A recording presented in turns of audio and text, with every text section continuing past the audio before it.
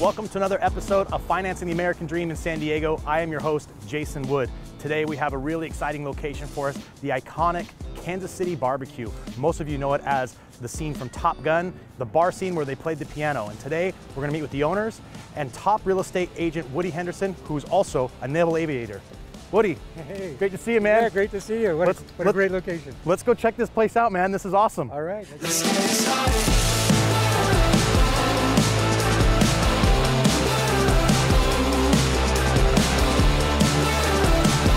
Here with Martin and Cindy Blair, owners of Kansas City Barbecue. Thank you guys so much for having us. Our pleasure. Thanks for coming by. Yeah, I mean, this is an iconic place, not only because of the movie, but there's a lot of history involved in this building and the whole Kansas City barbecue. So tell us, tell us about the history of this place.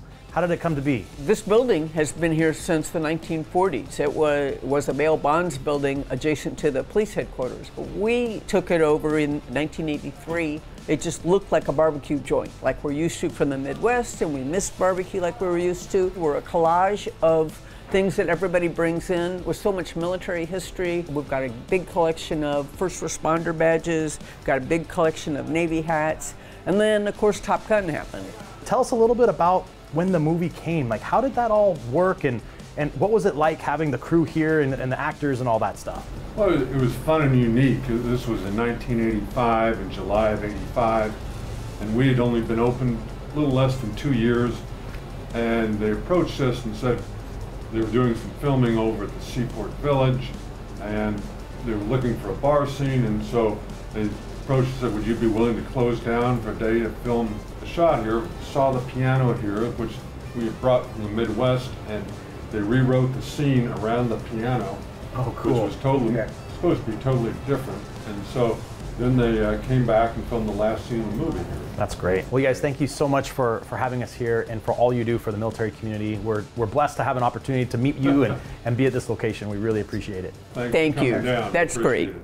it. All that talk flying out of your mouth. It's time to put your money where your words fall out. Show me what you're talking All right, so we're at the Bob Hope Memorial in San Diego in front of the USS Midway Museum, which used to be an active duty aircraft carrier. And what do you used to land on that aircraft. Carrier? We, we've landed on that aircraft carrier quite a few times. I was stationed in Japan.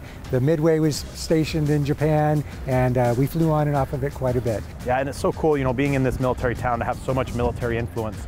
But you and I both serving in that military community on the real estate side, you know, I've made it our mission to help our military members really acquire real estate. And so tell me what what's so important for them in buying real estate versus, you know, living on base where it's easy.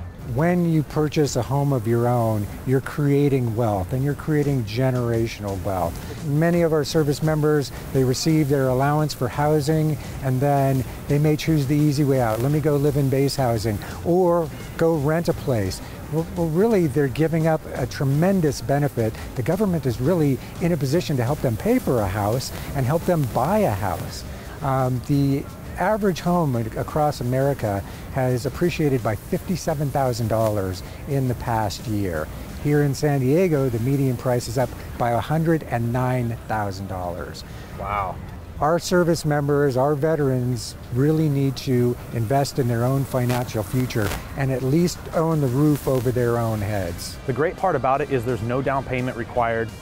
The qualifying terms are much easier than most other mortgage products, and you get lower interest rates. Lower interest rates, yeah, that's great. So that's great. it's a huge tool in creating wealth and one that only people like us and active duty service members have access to. absolutely, absolutely. Well, thank you. Yeah.